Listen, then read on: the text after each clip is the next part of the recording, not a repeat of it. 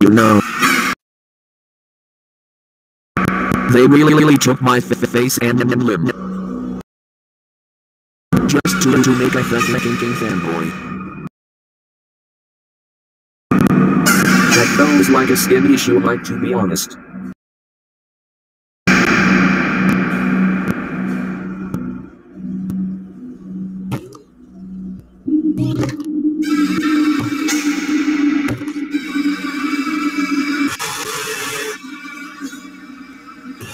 you